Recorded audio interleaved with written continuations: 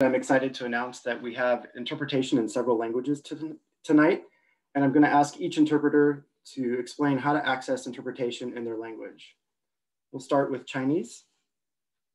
嗨，你好，欢迎来到这个公共健康社区。如果您要这个需要这个国语的协助的话，啊，在这个我们介绍完下面之后，会有一个钮，然后您在上面按这个中文钮，您就可以进到那里听中文了。谢谢您。然后也有欢迎您的问题提用这个中文来提交，我们将为您回答。Thank you. Thank you. Mong. Nhân xong xong xét tại tòa trong này sẽ tôi cũng là belu trong sĩ thả public health community conversation đó nó. Do hai tên này sao tao muốn xài lù thọ nhớ cho tao cáp thọ bé hai khi bé được khen trong nên ta. Họ khá người giống môi ilu ở globe là sĩ ilu vô vân nhớ cho họ. Thọ này nhảy cho hàng đời xài lo lù mong nên thế liền họ họ xài lù mong tao cáp bé hai luôn là nó ta cho nên tiếng môi lù đã chỉ thọ này sau cho lù tôi rồi bé lo tao thế ở trong tao. Russian? Добрый вечер и добро пожаловать а, на общественное собрание, посвященное ситуации со здоровьем. И с, а, если вы а, желаете слушать на русском языке перевод после вводных слов, после вступительного слова, внизу на вашем экране появится изображение глобуса. Кликните по глобусу мышкой и выберите язык, который вы желаете слушать. А, имеется также раздел под названием Q&A – вопросы и ответы к вашим услугам для того, чтобы а, отправлять вопросы прямо на вашем языке. Большое вам спасибо за внимание. Spanish.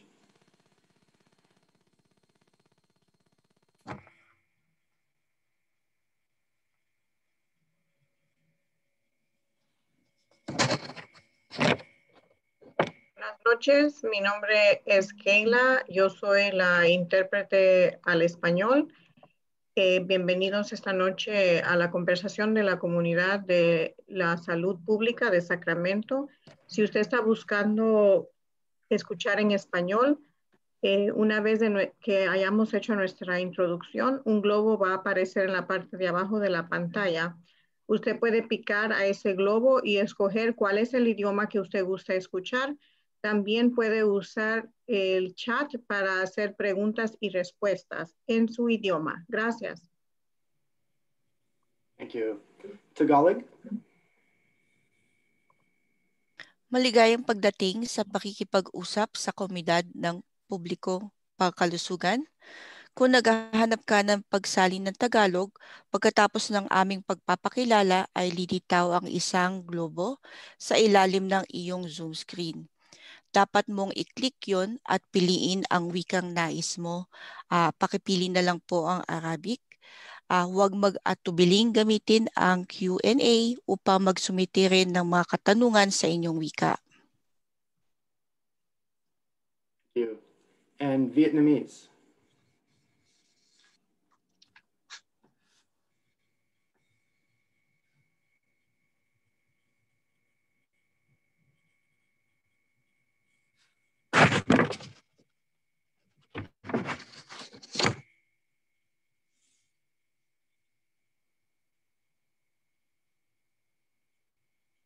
Bye, everyone.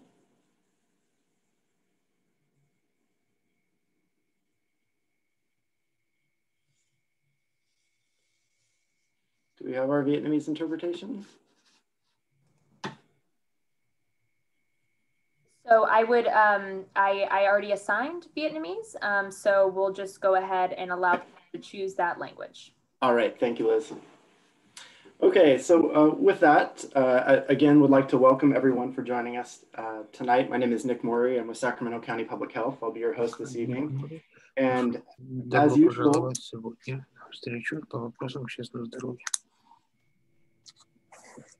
as usual, we'll be joined by uh, Sacramento County Department of Health Services Director, Dr. Peter Beilenson, and Sacramento County Public Health Officer, Dr. Olivia Kasirye. Uh, each will start with uh, brief opening remarks, and then we will go to question and answer. Um, before we do that, uh, I do have a couple of requests. Um, given so um, the Russian interpreter is speaking over, so I'm having a hard time hearing. Thank you for muting. Thank you. Okay, I think we're good. Thank you, Cindy. Um, so before we get started, I do have a request if you're planning on submitting questions this evening. Um, due to the unprecedented interest in this topic, uh, we do want to accommodate as many questions as we can. Um, and as such, I would like to ask that if you do submit a question, uh, you try to keep it brief and to the point. Uh, if you submit a longer question, I will do my best to uh, encapsulate the spirit of your question, but I may need to shorten it or summarize it. Um, so in other words, if you send me a manifesto, please make sure it has a really good topic sentence because I may not be able to read the whole thing. Um, and with that, I'm going to turn it over to Dr. Beilenson and Dr. Kasirye. Uh, Dr. Beilenson, will start with you. Dr. Beilenson you. Thank you. Спасибо. Спасибо. I think the Russian uh, interpretation is overtaking well, we have a, a, busier date, a busier time right now than we've had in the past uh, six or so of these events. And so it's going to take a little while to go over these two issues. One is the regional stay at home order, which was just put out today by the governor. And the second is how, how immunizations are going to be tried out. And then Olivia will fill in for all the things that I missed. And, um, and then we'll go to questions and answers. So first of all, as we always start off with the number of cases, there are 40,305 cases. That is a thousand a day. We're about a thousand a day. That, that, that is um, up from 70 a day just about four or five weeks ago. So a huge increase from where we were, where we almost at orange for Halloween. We're now deep purple, if you will. Um, we're at 8.4% on the test positivity rate, which is up from about 3.2 or 2.4 or something, uh, again, just a few weeks ago. And we're now at our peak in terms of hospitalizations, 359. That's more than we had back in May, June, um, and July. And 76 are in the ICU. The regional stay at home order is based on five different regions in the state Northern California, the Bay Area, Greater Sacramento, San Joaquin Valley, and Southern California, and is triggered when the region's projected ICU capacity meets 15%. Sacramento County right now is at 80 is at 16.1%. Um, so we are close to the borderline, but it, we're actually part of a larger region. Granted, the rest of the popula- the rest of the region is much less populated but uh, we will probably hit the 15% um, marker in the next few days. What that means is the following. Um, it triggers the regional stay-at-home order and it, ban- it closes indoor and outdoor playgrounds, indoor recreation facilities, hair salons and barber shops, personal care services, museums, zoos and aquariums, movie theaters, wineries, bars, family entertainment centers, card rooms, limited services, live audience, sports, and amusement parks. So a lot of what had been open is going to be closed when we're when we trigger the 15% ICU capacity regional stay-at-home order. The regional stay-at-home order, by the way, lasts for three weeks at least. And if we go above the, if we are do better in terms of our ICU capacity, it will be removed. If we don't, it will continue. The following sectors will have additional modifications um, if they if we go into regional stay at home. Number one is outdoor re recreational facilities, retail, which will be at 20% of capacity, shopping centers, also 20% of capacity, hotels and lodging, restaurants, which will be only allowed to do takeout and pickup um, or deliveries. Expression will allow outdoor services only. Um, the following sectors will remain open. In addition, they are critical infrastructure, schools that are already open for in-person learning. Let me be clear about that. Right now, we have some schools that have opened in the county, either because of a waiver for elementary schools or in general for the other schools because they came online when we were in the red tier. If a school has already started in person, it may continue if it has not started in person, it may not start until we go back in the red. Um, non-urgent medical and dental care will also continue to be used and childcare and pre-K will continue. Um, all obviously with masking, physical distancing. Um, Olivia, do you want to add anything to that? I think you've you've covered it pretty well. There are probably going to be a lot of questions. So, right. So we'll we'll have a lot of questions. But let me give you um, another little briefing. This is on the, the good news, if you will. So we'll we'll bridge from bad news to good news. The bad news is, as now as you can tell, we're in the midst of a surge, which started with the Halloween um, gatherings and has clearly continued with Thanksgiving gatherings from people outside of people's households we're not anywhere near done with the Thanksgiving surge yet. And with the holidays coming up, um, including New Year's and, and Christmas and Hanukkah, and et cetera, et cetera, um, there'll be a lot of gatherings as well. So we're quite confident, unfortunately, that we'll continue to have a surge. And we'll stay in the purple tier, I would argue, probably until mid-January or so. The, the bad, so that's the bad news. The somewhat good news is we can try and bend the curve as we did in Sacramento County initially by doing things like staying home, um, not gathering with people outside your household, masking, and social distancing, period. If we can do that for six weeks, we can bend the curve. That bridges us to the good news, which is the last part of what I'm going to talk about, which is that the vaccines are coming. They're on the horizon, they're on the near horizon, and light is at the end of the tunnel. We just have to get there. So there are it can be broken down into many groups, but I'll break them down into three or four groups as to how people will be getting immunized. The first um, first vaccines will be available by two and about two weeks from now, two weeks from now, and medical frontline medical workers and nursing home patients will be amongst those who can get the, the initial 20 million um, vaccinations. There are 40 million um, vaccines, but 20 million um, vaccinations because you need two shots about 21 to 28 days apart, depending on what vaccination you get. So the first vaccinations will be in December and January. Additional vaccines will become available and in March and April, I'm sorry, in February and March and maybe April, we'll have people who have underlying health conditions, older people, particularly those 75 and older and those at most at risk besides the first group for a serious disease. By April, May, June, we should have enough on hand to be able to start start and probably complete um, serving virtually all people um, in the community for uh, who want a vaccine. Let me close by saying, and then we'll take tons of questions, I'm sure, that logistically, I'm not terribly concerned about being able to do the vaccinations as a health department we do them all the time for the flu. Granted, not as much as we do and as we will be doing in COVID, but there are there are volunteers, all sorts of groups that are helping us. The National Guard, our great public health staff will be doing the work. Um, it will also be available at pharmacies, at hospitals, at doctors' offices, et cetera. So logistically, I'm not so concerned about getting the vaccine to people. What I am concerned about is the uptake of the vaccine. How, how reticent people will be to not get to get the vaccine.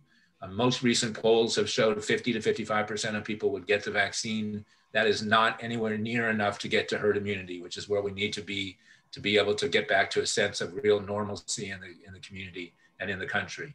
So we're going to have to work very hard to get those groups that are reticent to, to um, support vaccinations, particularly those going to be vulnerable populations, um, impoverished folks, uh, others who would who would normally be reticent to get a uh, vaccine because of things like the Tuskegee um, study in the past, and the other group will be those who have language difficulties.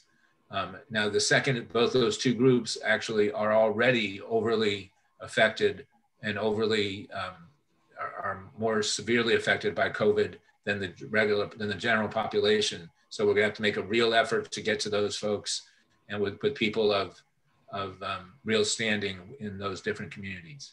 So let me stop there and to turn over to Olivia if she has anything to add, and then um, we can take questions. I think we can go to questions. Okay.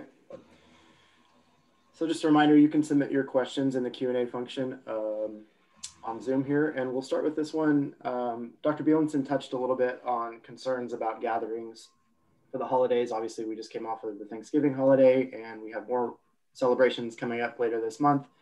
Um, what kind of recommendations can you give people as we head into those? Lydia. Well, I'll, I mean, I'll be very brief. Um, and the governor said it today, no indoor gatherings aside from people who are in your own household, um, masks, social distancing, and if you're going to be outside, limit the number of people and have social distancing and wear masks.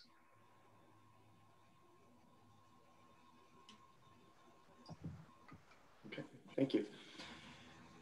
Uh, we had a question about um, how the stay-at-home order affects restaurants. I know you touched a little bit on this in the opening, but um, can you clarify the impact on restaurants?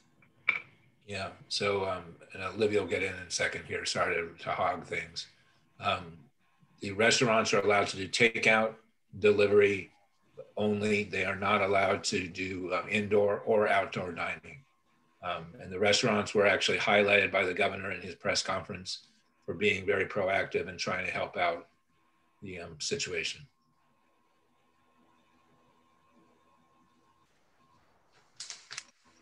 We have a question about schools. Um, specifically, this person notes that their uh, school has a plan published uh, for remaining open, and it appears to list teacher and staff monitoring testing as voluntary.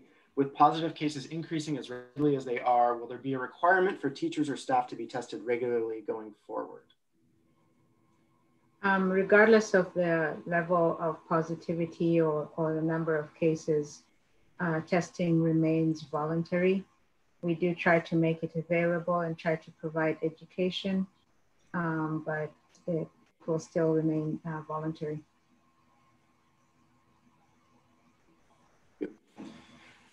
We have a question here about uh, homelessness, with the limitations of hospitals and the huge increases in numbers, why are unhoused still being moved around? Can we tighten the health order to protect all shelter in place? We have grave concerns that multiple camps are being moved in areas with high numbers.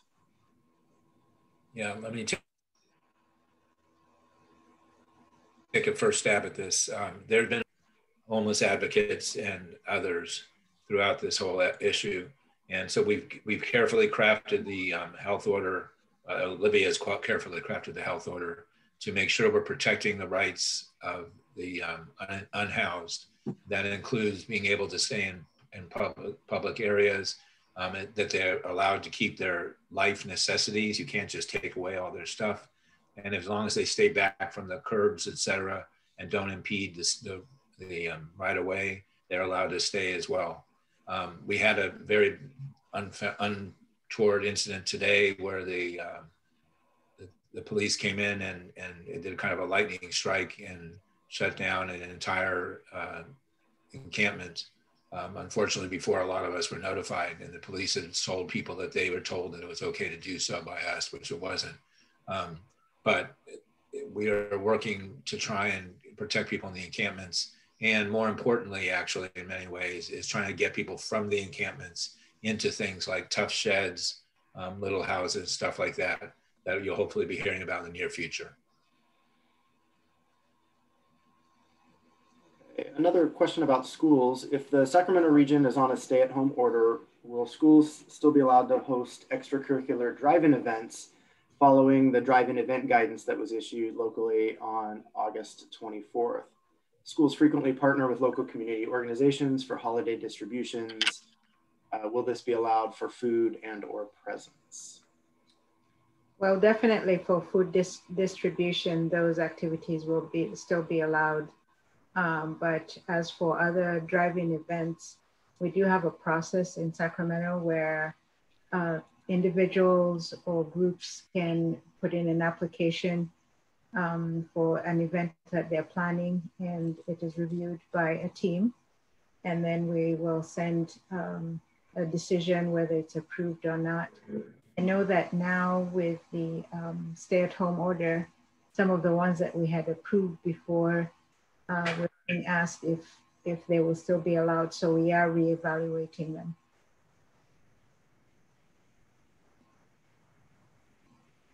This question asks, um, are dental offices and some doctor appointments covered under personal services? In other words, will these be shut down again?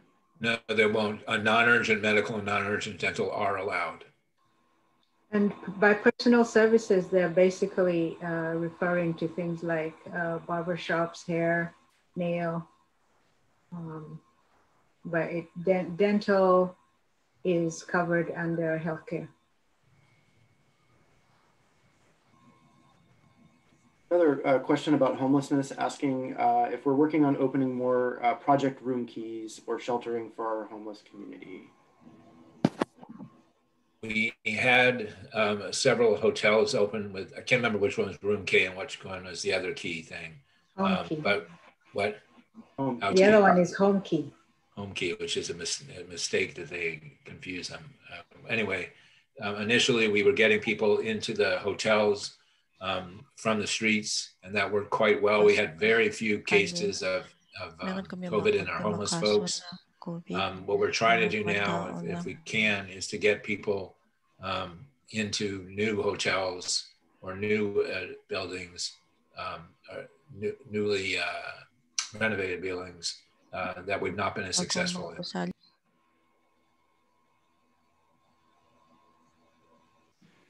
Okay, another school question. Um, so some schools that were not uh, fully open for in-person instruction have been operating uh, learning hubs or other on-campus learning groups. Will those be allowed to continue?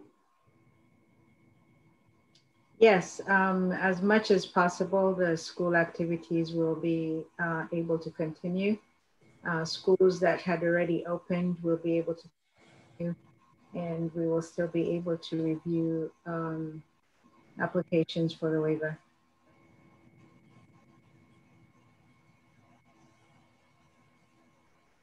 Question asks if you could talk a little more about what activities are driving the huge increase in cases.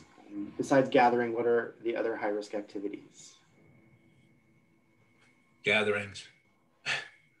I mean, it's uh, the contact tracers, which we use, as well as the electronic contact tracer called Qualtrics, basically is allowed is able to keep up with the, the cases. And although we don't have a large number of them are not necessarily, we don't know exactly where they came from. The biggest concern is, is gatherings and nursing homes.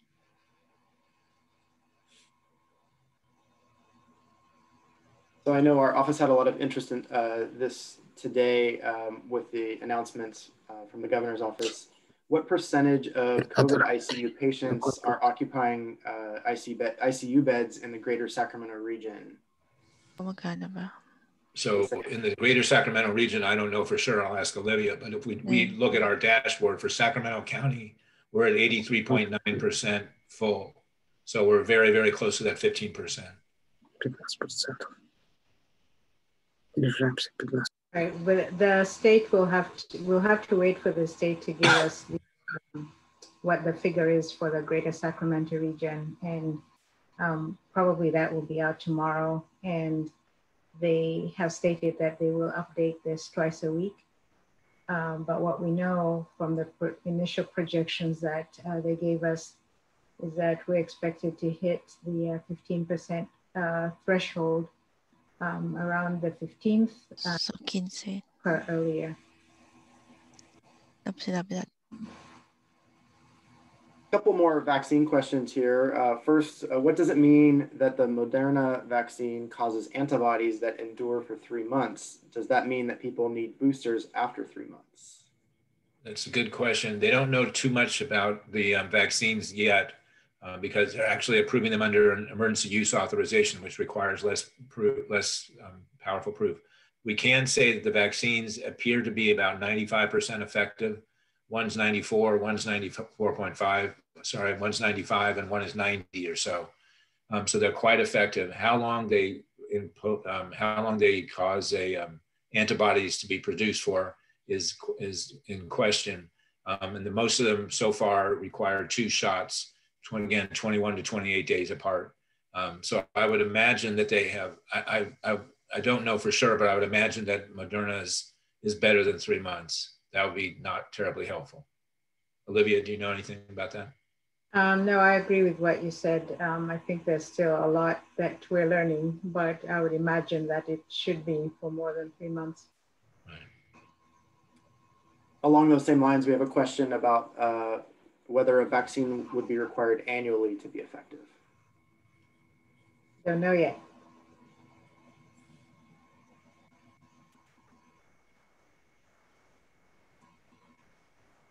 You guys like to talk a little bit about whether outdoor tennis and pickleball games can continue? Olivia. Um, we're still uh, working out some of those details. We know that from what the governor said, that he is encouraging people to spend time outdoors, such as walking and engaging in activities that don't lead to gatherings or mixing from different households. But uh, those details about the different games, uh, um, I think those are the details that we have to work out the next couple of days along those lines, there's a question about uh, data for disease transmission and outdoor activities, restaurants, playgrounds, et cetera, and whether there's a place where the public can access uh, information on that. I'm not sure exactly what that question is. What, what are they asking for? They're asking for data about disease transmission in outdoor restaurants, playgrounds, et cetera. So. Basically what they're saying is contact tracing, what we have found related to those. Um, I, I don't think that our data is able to parse it to that level um, because we have a number of questions that we ask and usually it's based on trying to find out who the person was around and also about gatherings and restaurants. So, um, or if they were engaged in things like um, sports, but otherwise for playgrounds, I we will not have that level of, of detail. And I'm not sure what the um, research shows. I know that um, I think some of the studies indicated that playgrounds were pretty safe, and that's the reason why the state uh, revised the, the, the, order to allow for playgrounds to be open, out, outdoor playgrounds. Sure. We have a, another question about schools. The question is, are you working with Sacramento County Office of Education? And if so, what is the criteria for reopening schools other than being in the red tier? We've done, uh, Olivia has spent a huge amount of time with, with Dave Gordon, as have I, who's the head of SCOE and working with the 13 different districts. Olivia.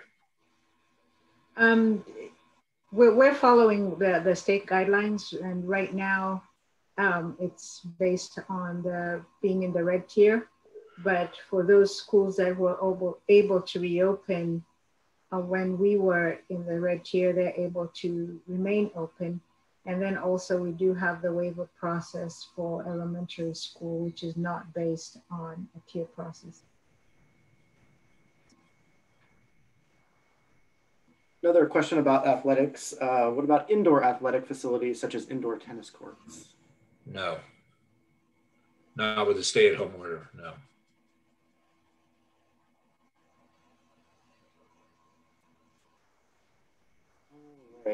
Um, will there be a charge for the vaccine? It's free. Yes, it's all being supplied by the feds and the state. So we will not be charging for the vaccinations. Okay, um, here we have a question about government offices. Uh, are government offices in the city of Sacramento expected by the county health department to return to telework? Uh, those employees whose positions were able to telework through the spring and summer specifically interested in State Department and state agencies, in particular non-uniformed office employees and law enforcement agencies. Um, could you repeat that question? It's a, uh, what exactly? Yeah. So uh, the question is, I think, trying to get at uh, what will be the expectation for um, office employees, uh, either working in the office versus teleworking it is very dependent on the type of work that the person does. But in general, our advice to employers is that as much as possible, that anybody who is able to telework does so at this time, because it will and make it easier for you to um, maintain the six feet of separation between workers and also reduce the risk of transmission, reduce any um, exposures or having to have people go home because they were exposed.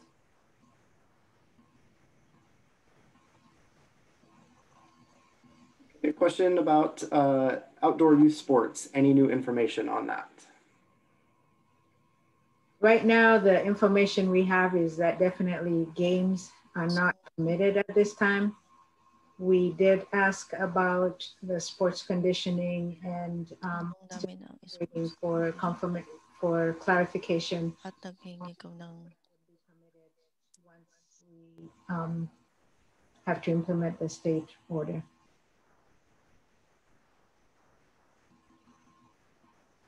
Okay, we have a question about grocery shopping. Um, how long is it safe to be inside a grocery store considering the degree of spread right now? 12 minutes and 37 seconds. No, just kidding. Um, there's, there's, no particular safe time. I mean, for those, for example, if you go in wearing a mask and socially distancing, you can be there for 55 minutes. If you go in with a mask that's down over your nose and you don't socially distance, you should be there for less than one. It really matters on what you do. If you follow the rules of socially distancing, and um, almost all grocery stores now have the, the round stickers that show you where you should stand, and you wear a mask, which is absolutely imperative, um, it shouldn't be terribly dangerous. One thing that helps also is uh, planning ahead so that you minimize the amount of time that you are in the store. Uh, make sure that you have your list so you are able to get in and out quickly. Um, I know that some people have also, especially for those who are in the um, age groups that, that are highest at risk, or age over 65, or those with chronic conditions, either they're able to make use of um, the special hours. Some of the stores provide special hours for older people, especially early morning or late evening and then also there are some other services like curbside uh, pickup is very um, efficient and, uh, and also um, minimizes your having to go in and out of, of stores and also of course being able to have it delivered to your home.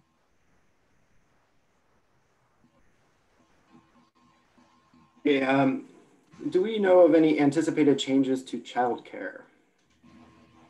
Childcare is still permitted? No, the answer is no, we don't. Okay, as a uh, avid traveler myself, I get a lot of these emails. This question is, what makes flying in an airplane low risk as they are claiming in their ads? Well, they talk about HEPA filters and things like that, and I don't, I don't know enough about that to know if it's that's that true. I can say though, and Olivia, correct me if I'm wrong, that we have not seen a lot related to, at least since the um, initial outbreaks in um, Asia and in Europe that brought um, some of the cases here. Um, I don't think we have seen a large number, if any, um, cases that have been transmitted on airplane trips. Um, part, part of that is probably because they require uh, masks and and they have space between between passengers um, and I think the air filtering probably does have something to do with it, but I don't think we have seen very many cases actually, Olivia. Agreed. Hey, uh, this question is, how will the African American community access the vaccine? We are an especially hard hit community. So one, um, uh, well, go ahead, Olivia. Yeah, um, that is a good question. And actually, this is for all of the um, minority groups and disadvantaged communities. We are going to take special effort to ensure that um, we're able to provide vaccine. One good thing that we have in Sacramento is that when we were um, deciding on sites for our testing, um, community testing sites, we were looking at disadvantaged communities and communities that um, had higher numbers. So being able to look at that, uh, one of the thoughts we have is actually when it comes around to um, the community uh, vaccination clinics is that we can easily work with those same sites to provide the vaccine. So that will be one way Um, we're also looking at other ways, um, especially for those that are not very mobile, uh, those that um, are maybe uh, not able to get out of their house or are in uh, board and care facilities. We will have uh, small teams that we call strike teams that will be able to uh, go to some of these places to be able to um, provide the vaccine. And that's the same for the homeless as well.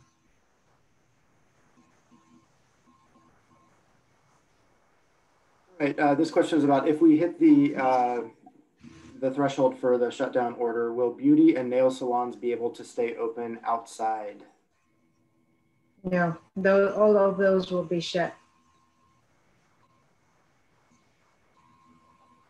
Will Sacramento County consider mandatory mask requirements? We already have one.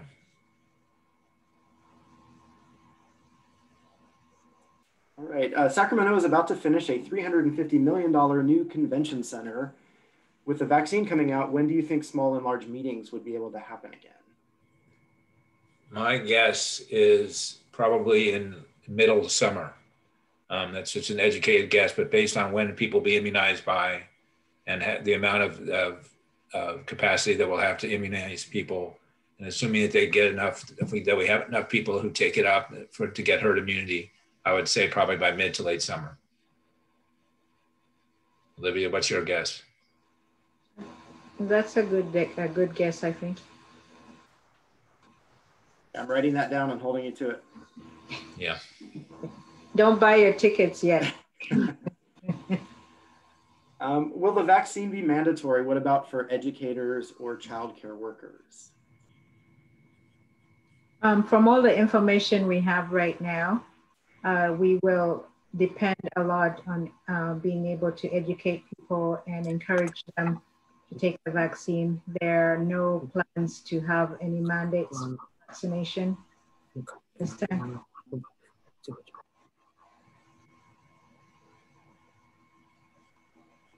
Right. Um, and we talked a little bit earlier about um, medical and dental appointments. Uh, along those same lines, somebody uh, says they're currently undergoing physical therapy, and would this be allowed to continue? As far as I know, yes.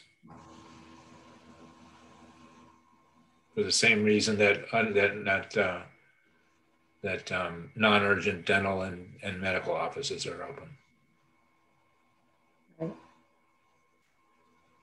Another vaccine question. Uh, how would side effects to the shots be reported for evaluation? Through, is it VAERS, um, Olivia?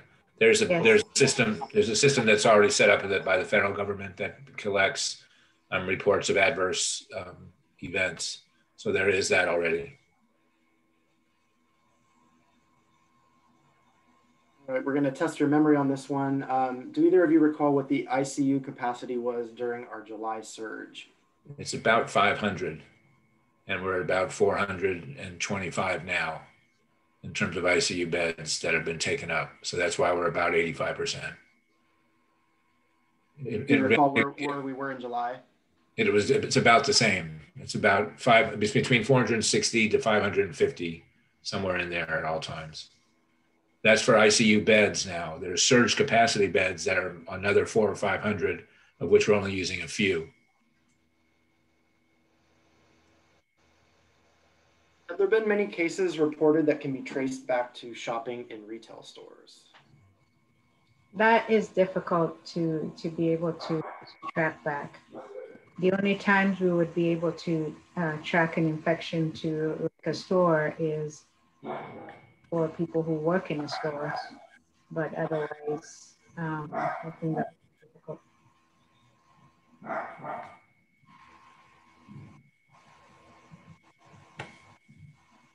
Decided that someone's dog is barking and it's not mine. No, it's mine. All right. um, this question asks, uh, when gatherings seem to be cited for the spread of the virus, why are restaurants and small businesses the fall guys, especially after following the modified operational rules and protocols for mitigation? So we've been arguing that with the state for quite a while. Olivia's taken it to the state. We, I've taken it to the state. We've met with the restaurateurs many times. Um, the point is quite well taken. about 7.1% of the cases that we know about are in um, restaurant industry, which is not a huge percentage considering how many restaurants there are. Um, so our our our um, point has been that they are pretty good actors, and that they probably are being made the fall guy to some extent. Um, but right now is not the time to really make the huge argument since we're going into the stay-at-home order period. Although they are allowed to do takeout and delivery. Another vaccine question. Uh, will it be given to those who are recovering or have previously had COVID?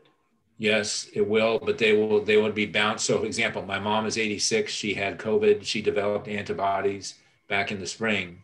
She would actually be down lower on the um, rankings of people to get shots. In other words, because she has had it and has has antibodies, she will get the shot, but she would get it less um, less acutely, if you will.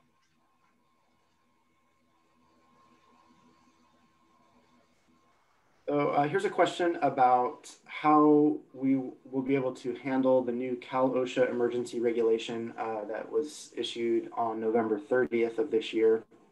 Um, specifically, it notes at businesses with an outbreak of three positive staff exposures, employees will need to test weekly until the workplace achieves 14 days without a positive test. Are any changes expected to emergency regulation if testing at that level won't be available? I think that the difficulty is being able to make that level of testing available at all of the workplaces.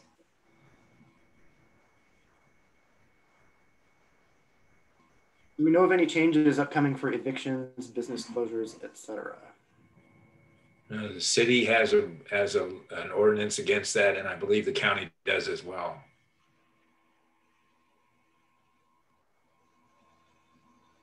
We talked earlier about uh, physical therapy. This question is about therapeutic massage. Um, is that permitted? At this point, I don't know. Those are some of the details that we will have to find out.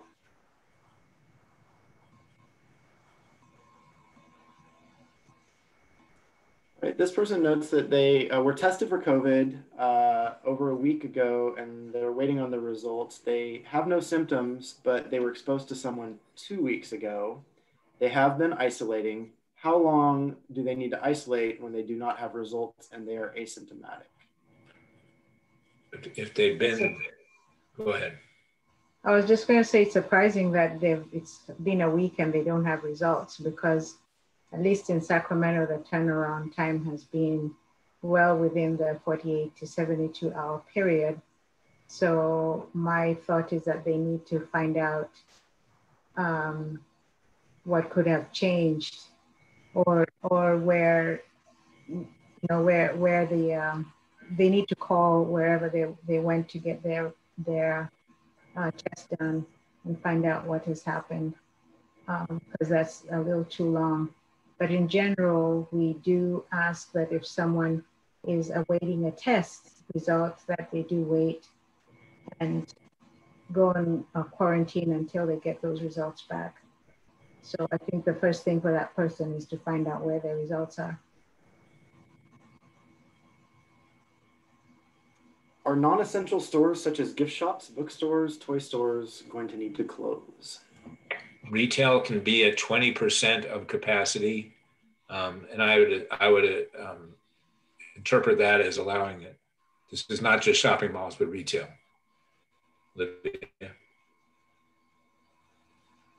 Yeah, that's 20%. What considerations are used to determine how much vaccine uh, local health, health systems such as Kaiser, Sutter, UCD, and Dignity are given? There's a there's a whole system of um, state people and and a, um, a uh, group of folks who make the decisions based on what what the populations are and what minority populations there are and what separate needs are of each of the jurisdictions.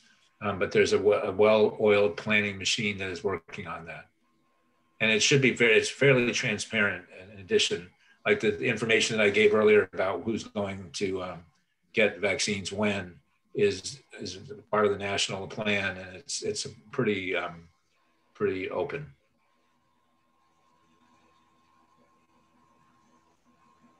How can public servants, teachers who statistically are more likely to transmit the disease than young children not be compelled to get tested? If I have to vaccinate my children to send them to school, the teachers should be getting tested even now since many are on campus. This is insanity.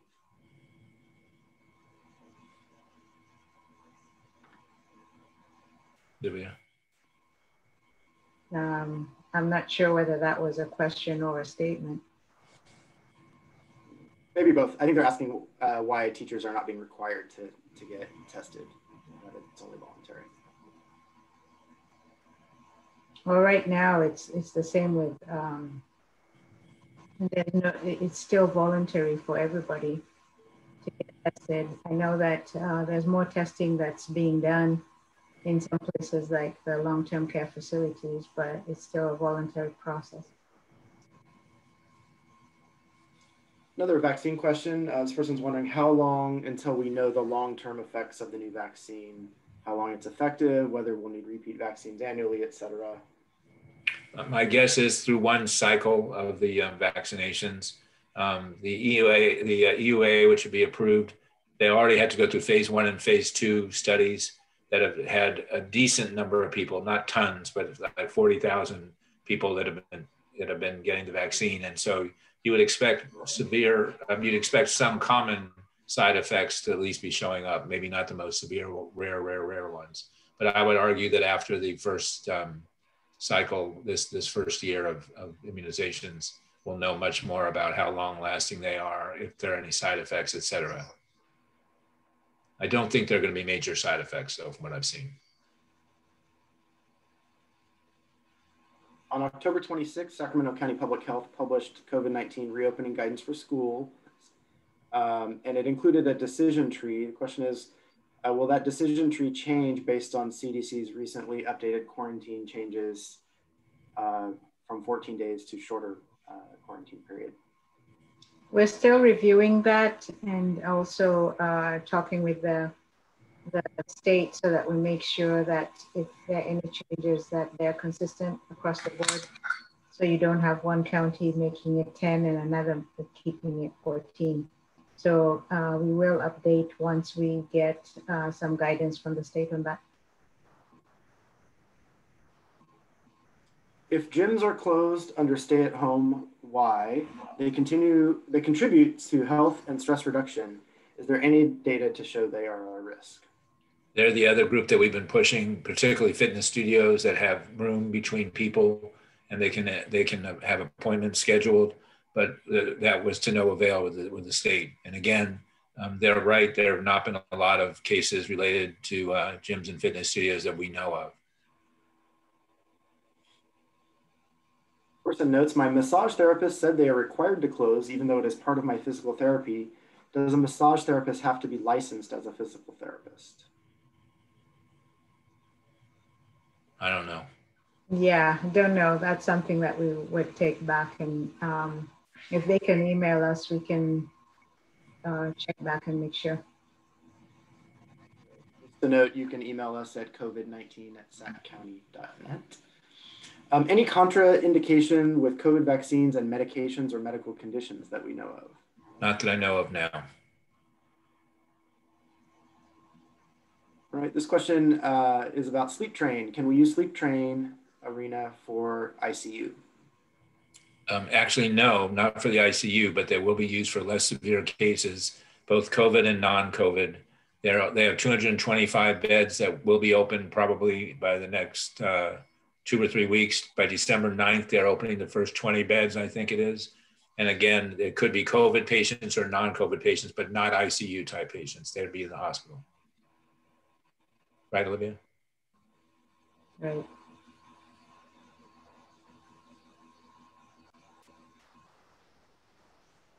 Okay, uh, what can or should employees who are afraid of unnecessary risk of exposure do when their employer notifies them on Monday of two positive cases last week in the workplace and four cases just today? This in addition to the eight cases over a two week period last month, but the employer won't let the office workers go back to telework. I think that's an issue that um, would best be handled if they can either work with their HR or if there are still concerns, call our office and work with our public health nurses.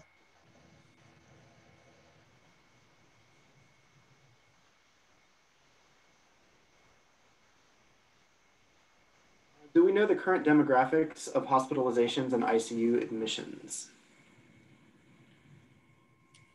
Yes, but I, I don't have that handy right now. What about churches? Are they on limited capacity or services not allowed? They are only allowed to have outdoor services and stay in the stay-at-home order.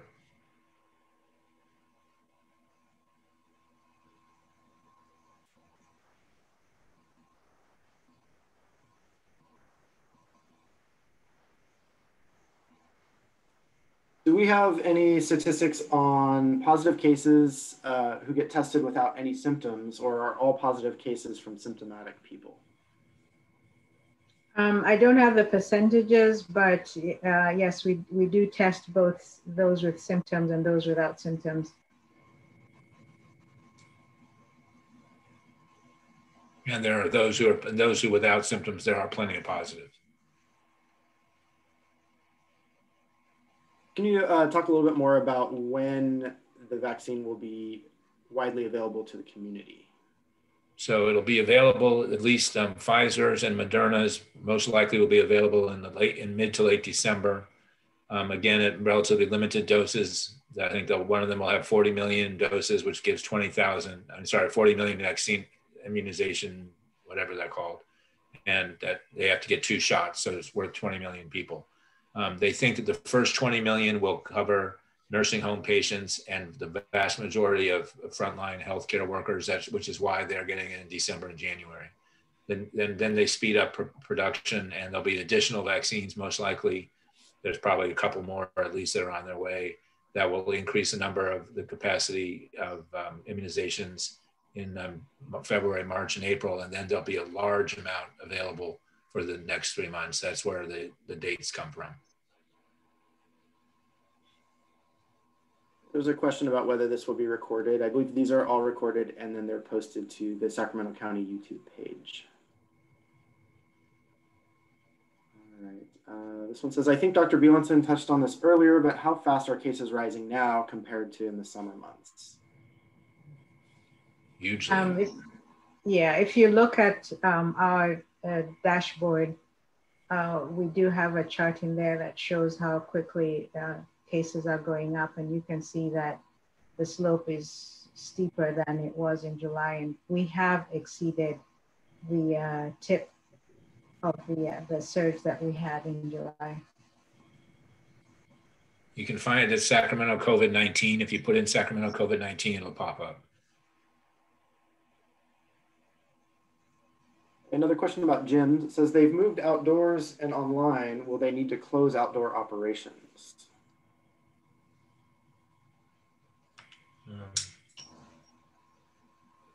Um, I'm checking on that. I, yeah, I'm looking too. I don't see it. Yeah, we'll have to check on that.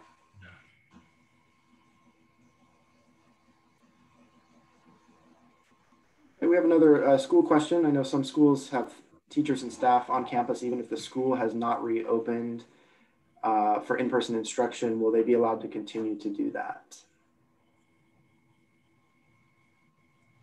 Will they be able to continue? Uh, will schools be allowed to continue having teachers or staff work on campus even if they have not reopened for in-person instruction? So some schools have teach uh, teachers yes. teaching from their classrooms remotely. Yes.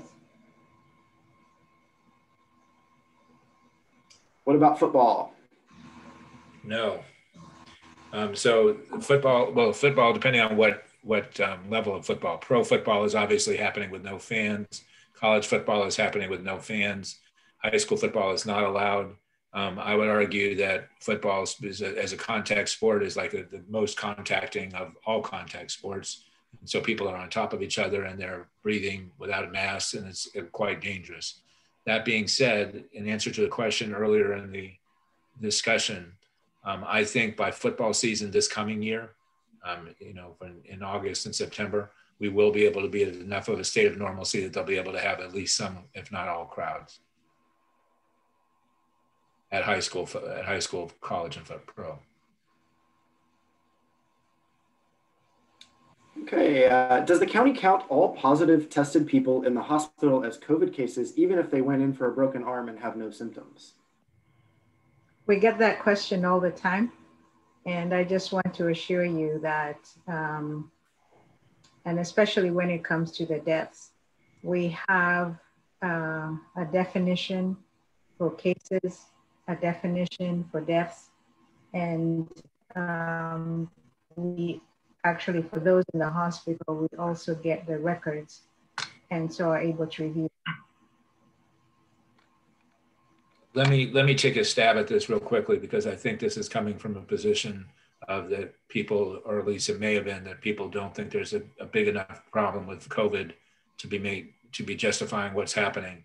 We have a huge problem now. 275,000 people have died there's 10 to 30% of those who got COVID, whether it was severe or not, who end up with long term consequences blood clotting disease, heart, lung, fatigue, um, brain fog, all sorts of things that are going to be long term effects. And we're getting now getting a surge with tons and tons of hospitalizations and ICU visits all across the country. This is really serious, and we have to deal with this for the next several weeks and bend the curve in order to pre- prevent unnecessary hospitalizations and unnecessary deaths.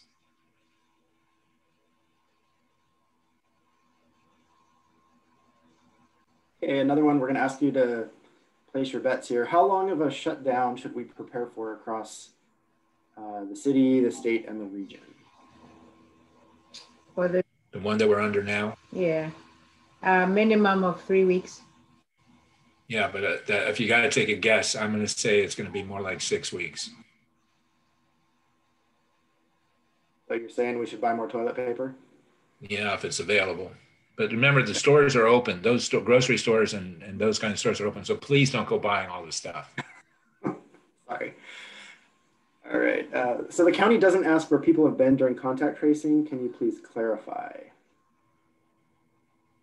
What was that? The, uh, the question is, uh, the, it says, so the county does not ask where people have been during contact tracing. Can you please clarify? Um, That's what I, contact I think this tracing might be is. a, I, I think this might be a follow-up because some of the questions previously were asking about, you know, are we able to say for certain how many cases come from retail or a playground?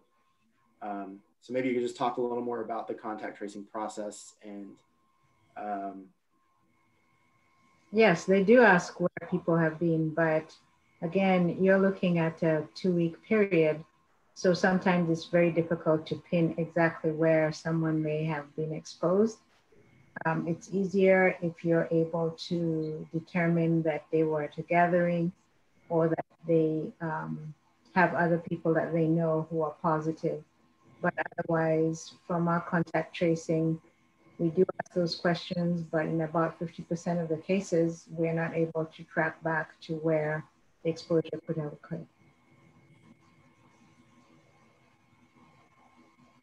We have a question about churches. They're asking uh, if the criteria for churches will change with the new order.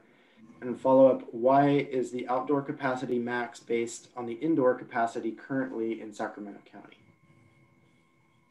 that was a judgment call based on um, trying to balance um, the need for uh, churches or actually re religious organizations to be able to have their services, but at the same time uh, prevent uh, large groups of people being in one place. And this, the county is allowed to have uh, to have additional restrictions um, to the state guidance. Are gymnastics clubs permitted to continue practicing? No, not no.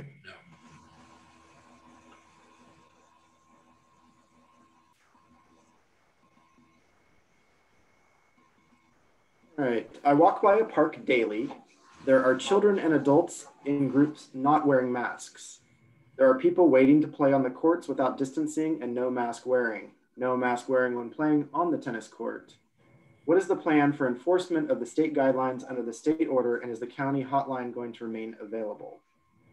So Olivia and I have been working on this ordinance now for three or four, well, actually for longer, several weeks, because we're quite concerned about some small number of businesses and people who gather who have been kind of flaunting the rules. Um, we have a number 311 that people can call to report conditions that are unsafe or they think are unsafe. Um, I, I, will be very honest with you that um, because the sheriff is not is refusing to um, enforce any of the laws related to COVID, that hamstrings us to a large extent because obviously they have people out and about 24 7 and they have thousands of people that they can go that can go to people's houses if there's a, a report of a gathering going on or a party going on that we cannot do as well. We will use public health staff who already are doing things to enforce to do the enforcement and the fining which will be allowed to do under this ordinance if it passes. Um, but I, I should be clear about a couple things. First of all we always always educate first when we go to a restaurant or we go to a, a a bar, we go to a grocery store or whatever that is not following the rules, not wearing masks, etc. Um, and then we do um, a lot of follow up with business navigators to help folks understand why they have to do what we're asking them to do. And only if they continue to flaunt the rules will we will we pick out people who will be bad actors that we want to um, find to make an, an, example of. That'll include people who are doing um, uh, gathering because we it's not so much the businesses as the gatherings. Um, I also uh, do want to point out that um, we do have limited resources. So we are to the large extent dependent on businesses to enforce the orders. And so businesses being able to, they're required actually in order to be open to have protocols in place for uh, masking and social distancing.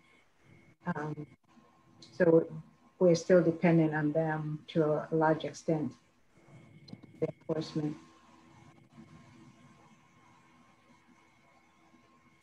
Dr. Beilenson, this one might be for you. Are there any restrictions or concerns with dog grooming? With dog grooming? Um, yes, we have dog grooming. Um, they were originally allowed to bring them to their fence and hand them over. I think they can still do that, right? Is that personal services, Olivia? It's dog services. services, yes. Uh, so it may be prohibited at this time uh, when we have the stay-at-home order, I guess. Sorry, dog groomers. All right, this question is particularly relevant for my sister who keeps her mail in her garage for two weeks after it arrives. Can people stop wiping down items they purchase when they get home? Yes, yes, yes. So this is where a lot of the um, information has changed over time as we learn much more about this disease. It is an aerosolized, airborne um, disease that has passed through, through breathing on people or coughing on people which is why masks on both sides of the aisle, uh, both sides of the, pe- people on both sides of an uh, interaction should have masks and be at least six feet away. Actually, if you sneeze or whatever, it puts it, it pushes it out further. Um, but you've got to have that. What we what we have found is that fomites, which are surfaces that can have bacteria or viruses on them, um, initially showed that they actually the virus lasted a fair amount of time on the fomites, um, but as, as it's turned out, it quickly, quickly loses its um, capability of infection. And so the vast majority of infections are airborne. Very, very few of them are, hand, are um, surface related. And that's why it's kind of silly. I shouldn't probably say this, but all the um, stores around town are saying how much cleaning they're doing all the time. That probably is not that important. What is really important is wearing masks and, and social distancing and not gathering. We have a couple more uh, questions about the vaccine. Uh, first, when do we anticipate being able to vaccinate children? So children are in the th th third tier and they don't have approval yet. Yeah, uh, right now, actually, children are not included. And then another question is, um, how are we going to keep track of those who have been vaccinated? Start there we already have a system of the CAIR system that uh, it's a state-based system that uh, tracks vaccinations. We use this on a routine basis for uh, children's vaccinations. And flu vaccine. So that is the system that will be used.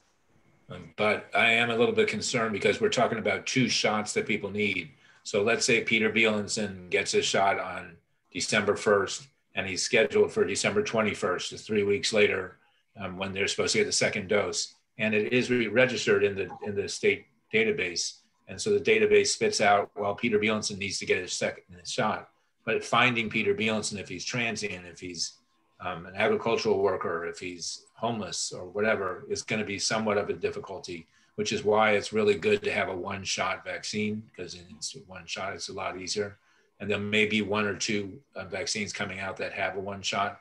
Um, but Olivia is correct, of course, that that's the way that we keep track of it in the state. And it's just going to be a little bit more difficult than a single shot uh, dose. And then one last uh, vaccine follow up there. Would someone need to show the identification to receive the vaccine? It'll be the same process that you go through right now for being able to get vaccinated. Yes, you do have to show some form of vaccination. I mean, um, form of identification. Yeah, so we can keep track of where people live.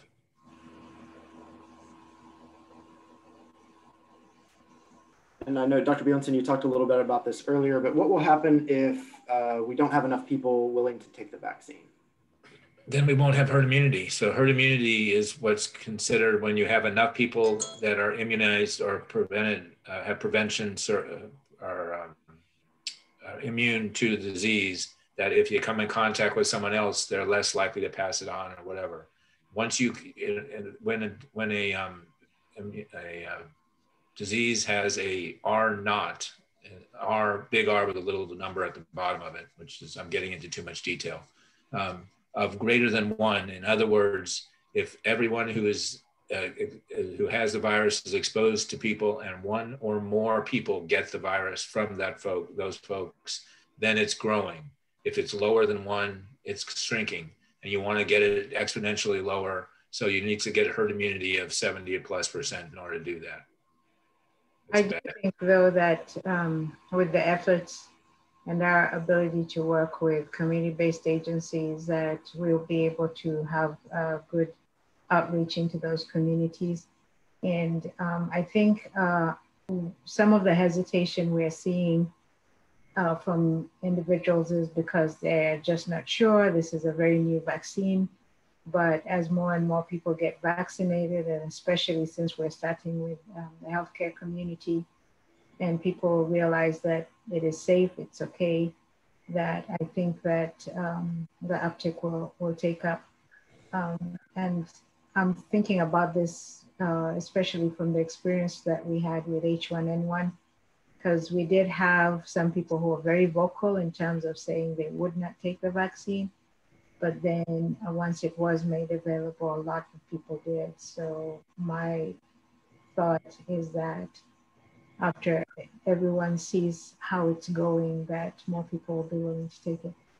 And trusted messengers are going to be very important in each of those communities the Asian Pacific Islander, African American, Spanish speaking, and all the other, obviously, they're not monolithic, all the other organizations, in addition to things like Bill Clinton, Barack Obama, and George Bush are, are going to all get the shot to show people that it's safe. And so will you. so will I, yes. All right. Um, are casinos able to stay open? No. Um, casinos, the, the uh, I think the challenge, because this is a question that the state was asked, they are controlled by the Native American tribes. Right. But there will be a strong recommendation that they close. Yeah, and any card rooms and other casinos that are not at Native American run are banned. I'm pretty sure, right, Olivia? Correct. And we can't go to Reno either, right? So um, um, actually, that's I, I, just wanted to point out. I know we've talked a lot about the uh, stay-at-home order, but there was also a uh, travel ban that the state also um, in, released today. Um, so that's something that people need to be aware of. any. What does that, what does that mean, Olivia? Can we travel to Baltimore? Um, basically, any travel that is non-essential is strongly discouraged. I don't think that there'll be someone standing at the right. At the airport to stop you going, but uh, definitely they are. It's, it's it's you know it's strongly discouraged if it is not related to essential travel.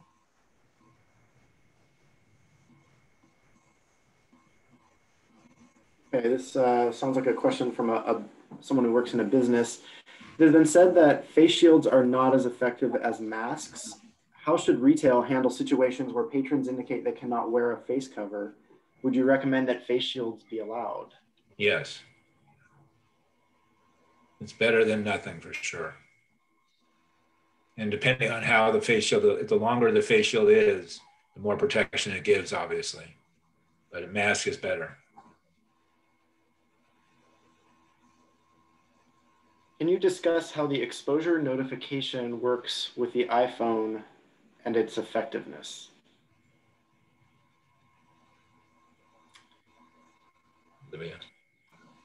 Um, so that when a person signs up to get the test, they have the option of being able to opt in to the system.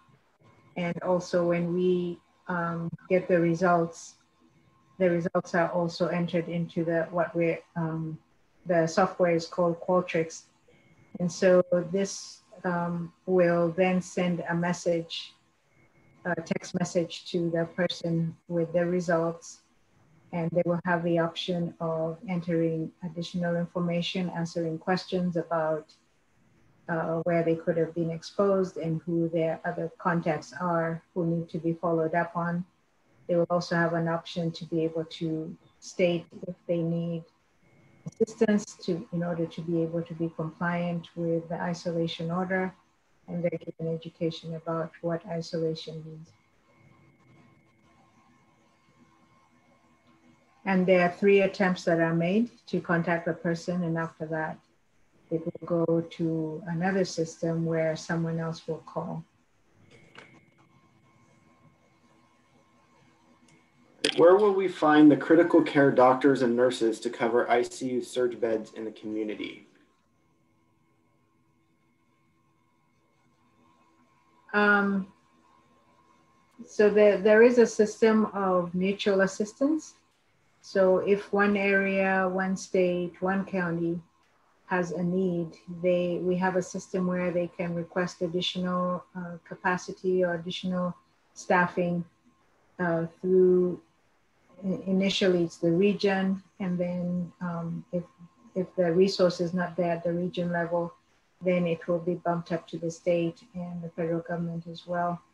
But of course, um, if a large number of counties or if the entire region is experiencing a surge, you can imagine that there might be a lot of re requests going through, and so it might be more difficult to uh, be able to meet those requests. And that is the reason for the concern that the state has and the fact that 51 counties right now are in the purple tier and that for many of those counties, their intensive care unit capacity is close to that critical 15%.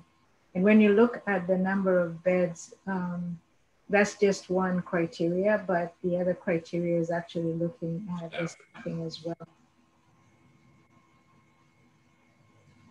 Another hospital question here. What changes have been made to hospital emergency rooms over the past eight months to help mitigate the spread of the virus?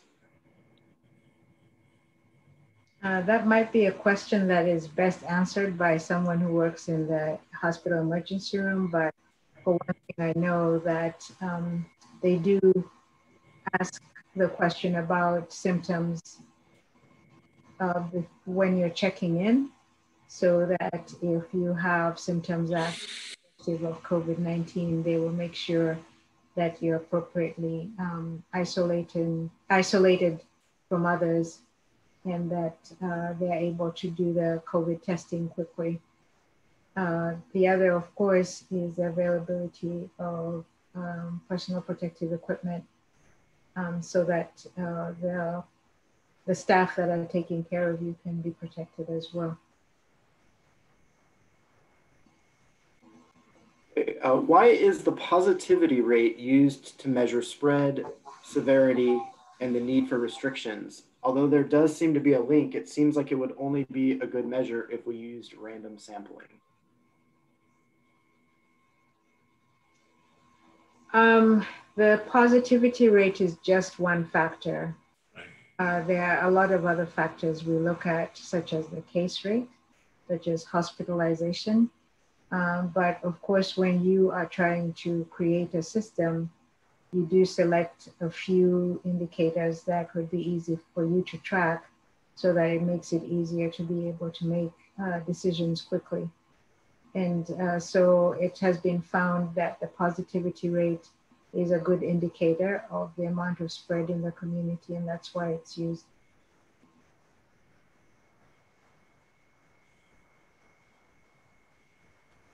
Okay, it looks like somebody wants to get you involved in a family disagreement here. Can you please reiterate that extended family should not get together for Christmas for those of us with family that are stubborn? They should absolutely, positively not include anyone who is not in your household when you're coming for Christmas, period. Stay home. The one thing that we've been talking about again is related to what I was talking about at the very beginning. We are now in a period of time where what we're trying to do is is actually um, harm reduction, reducing the harm to people over the next several weeks of unnecessary hospitalizations, unnecessary ICU, unnecessary long-term effects of COVID, and unnecessary deaths until we get to the immunizations. So this is a one-year thing that everybody's having to deal with. We've made it through eight months so far. Let's just make it through one more month. another vaccine question. I take a biologic drug which inhibits my immune system. Would that make the vaccine ineffective? Good question. I'm not sure. Right now, we have not been given any uh, data on contraindications. I think those are questions that will definitely be asked. And another uh, vaccine question Will antibody tests after the shots be available to see if the vaccination was effective? They, will, they may, but it's actually a little bit more complicated than that because there are specific antibodies for the virus and there are T cells, which are kind of generalized antibodies, if you to simplify it. Um, and they're not sure which ones are the ones that work the most on the uh, virus. So I think we're gonna have to wait and see what the site again through a cycle to see exactly how the vaccine works, what kind of antibodies it produces, how long they last for, any side effects, et cetera, et cetera. Hey, we have a question about masks. What type of mask is best? And should I be wearing a mask in the car by myself and outside walking? In by itself is a definite no. And right now, there are a lot of different um, face coverings that are available. I think what's important to remember is that it should cover your nose and mouth. Um, and, and so, uh, as I mentioned, there are a lot of different ones that you can use. As far as walking outside, if you are basically outside by yourself and there's no one around, it's fine to have not have your mask on, but have it on you so that if you are passing someone else or if you're engaged in a conversation, you can pull it out and put it on. And the masks that are three layers that go like this are, are better than one or two layers, if you can find them. And they're also better than gaiters. Gaiters are not supposed to be that terribly effective. Other than following the public health guidelines, what can community members do to support needs in the area? needs. What is that? What is it? What do you mean? I don't know. Well, we'll skip the question then. All right. Um, what is the availability of in-home or school saliva testing? We don't have that available right now.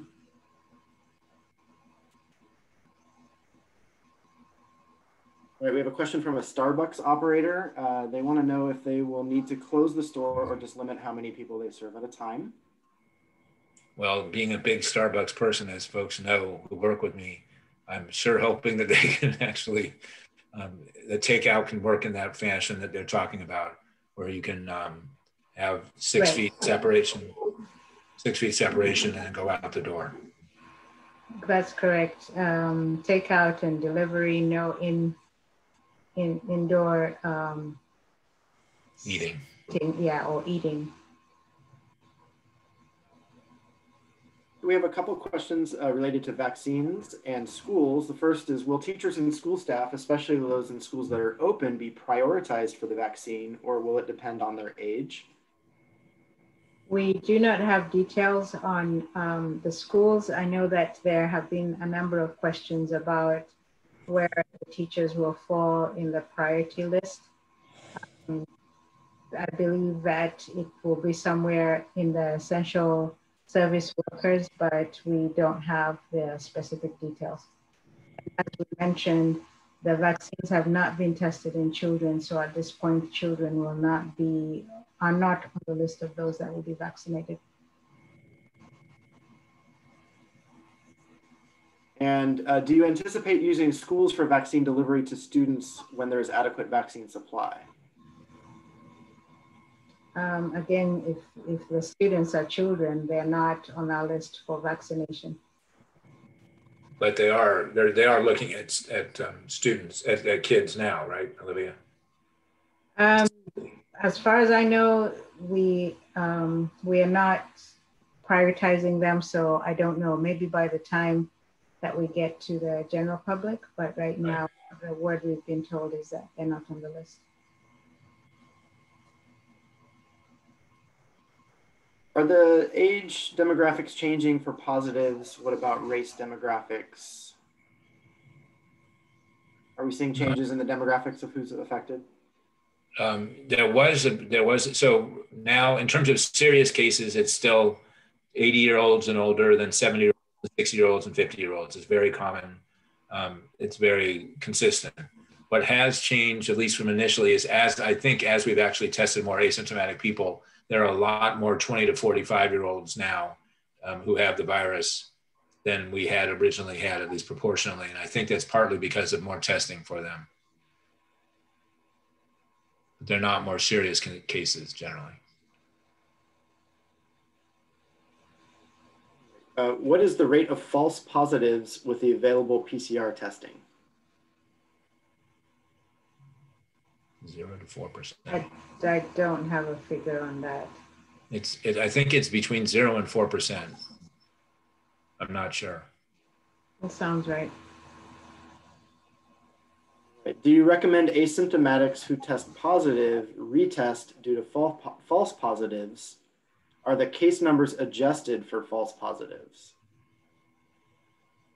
There are only certain situations where we investigate if we and, expect that um, a false positive. And in situations, yes, if we, the determination is made that it was a false positive, then that number will be removed. But generally, I wouldn't retest, right? If they have a test and they think it's false positive, you don't necessarily retest. Not necessarily, no, but it is dependent on the circumstances. Will Sacramento abide by the Supreme Court ruling that our governor cannot treat churches differently than secular institutions like grocery stores?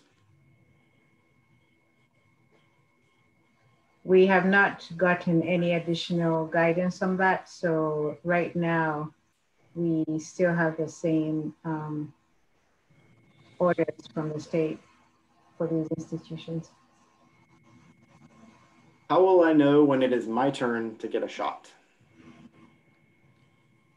We will do a lot of um, outreach and um, public outreach as well as uh, you know working through uh, different actors such as the healthcare providers and so we will know when it's uh, time for the general public and of course we'll publicize the availability of the, uh, the clinics that we set up. So stay tuned. Will rapid testing be more available in coming months? Will it be available for general screening or only for testing symptomatic individuals? Um, rapid testing, are you talking about the antigen tests? So we do have some antigen tests available, but there's still a limited supply. And according to the um, approvals that they got from the FDA, most of the time they, we, you know, we use them in situations where someone has symptoms. So we're still mostly dependent on the PCR tests.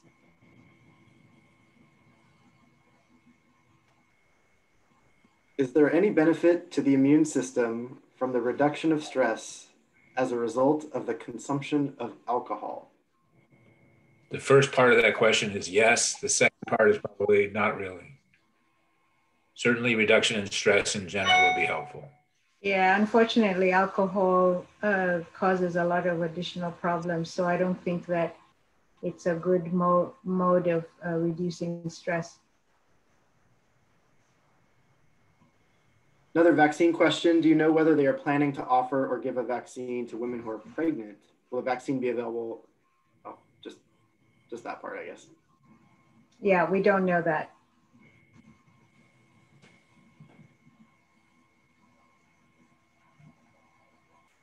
How will outreach information about the vaccine be dis disseminated in limited English populations?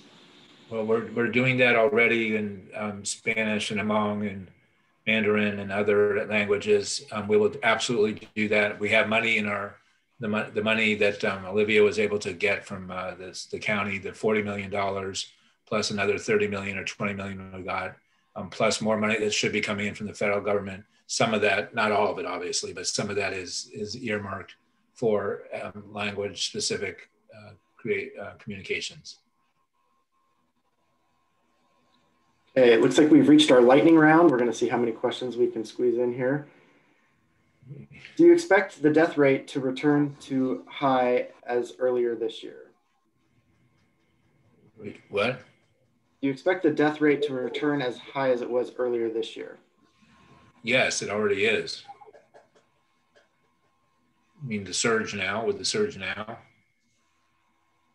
Yes, what we usually find is that the death rate, um, the uptick in death rate, there's a delay of about two to three weeks from when the surge starts. So we do expect that there will be an increase in the death rate. Question much about, of a lightning round, Nick. What's that? This isn't much of a lightning round. I know, we really kind of, sorry, I'm trying to read through. Well, why, so, why don't we take one more? Why don't we take one more question? All right. Uh, so what about indoor businesses, activities who have an educational based license to operate, such as music, dance, martial arts, gymnastics, etc.? No indoor activities. Okay, with that, I'm going to end with a couple here that are more comments. One from Farah, she says, love Dr. Beilenson's sense of humor. And Melinda notes, I'm sorry to see you go, Dr. Beilenson. I appreciate your very straightforward answers and integrity. Thank you. And let me take this opportunity, if I can, Nick, if you don't mind, and Olivia, um, to say a couple things. Um, first of all, as some of you may know, I'm leaving in a couple weeks, and this will be my last uh, one of these presentations. Um, and I, I trust completely uh, Olivia will have uh, has my utmost confidence and will do a phenomenal job of running these things and mostly running the COVID response, which is what she does basically. I just say yes or no to certain things. Um, but I've, been, I've really enjoyed being in Sacramento these past several years, few years. And um, thank you for those of you who have been so kind to us um, over the last uh, two and a half years. And I look forward to seeing how well Olivia does in the future. Thank okay, you. With that, we'll wrap up. I just want to take a moment to thank both both Dr. Beilenson and Dr. Kasirye for sharing your expertise and your time with us this evening.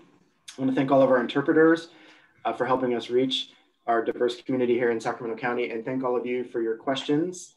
Um, as was mentioned, we'll be doing this again in a couple of weeks. And with that, have a good night.